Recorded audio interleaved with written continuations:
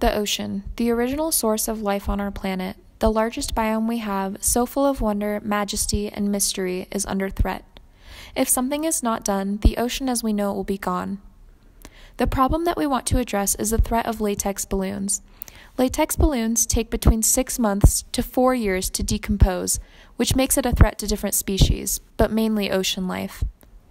In 1986, organizers attempted to break the world record of releasing 1.5 million balloons. This had major consequences, leading to two deaths. In the past 10 years, the amount of latex pollution from balloons has tripled. This is destroying the ecosystem and killing marine animals. These poor animals eat the discarded balloons and it gets stuck in their stomachs, blocking other foods from being absorbed, starving the animal. We want to stop this. Our mission is a pollution free ocean where animals and plants can thrive.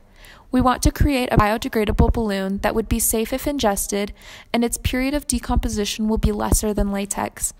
These balloons would no longer cause harm to the ecosystem and the animals that inhabit it. Our research has provided us with various alternatives to latex balloons.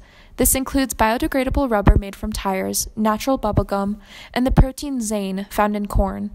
We plan on teaming up with material scientists on campus to test, design, and evaluate the uses of these materials in a possible compound for our balloon.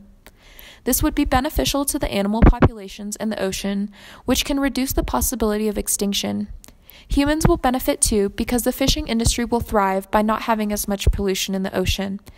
This rubber material can also be flexibly used throughout the industry to reduce pollution in the products where plastic or rubber are used.